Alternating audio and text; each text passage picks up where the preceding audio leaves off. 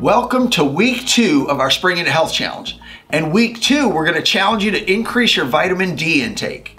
Now, you can get vitamin D by sitting out in the sun. But of course, we're in New England and it's late March, early April. So not the best time to be out there. So we want you to increase your vitamin D by eating foods that are rich in vitamin D or supplementing vitamin D. And if you have any questions on that, let us know. But if you complete this challenge by increasing your vitamin D every day for the next week, you're gonna get another ticket. Now, don't forget to exercise because that gets you a ticket and learn all the different other ways that you can get a ticket. And then one last reminder, about our nutrition workshop. Our nutrition workshop is coming up, and not only am I going to talk about the healthy foods that have vitamin D, but all the healthy foods that we need to eat to truly be healthy. And again, if you attend that workshop, you're going to get five tickets. If you bring a guest, you're going to get five more.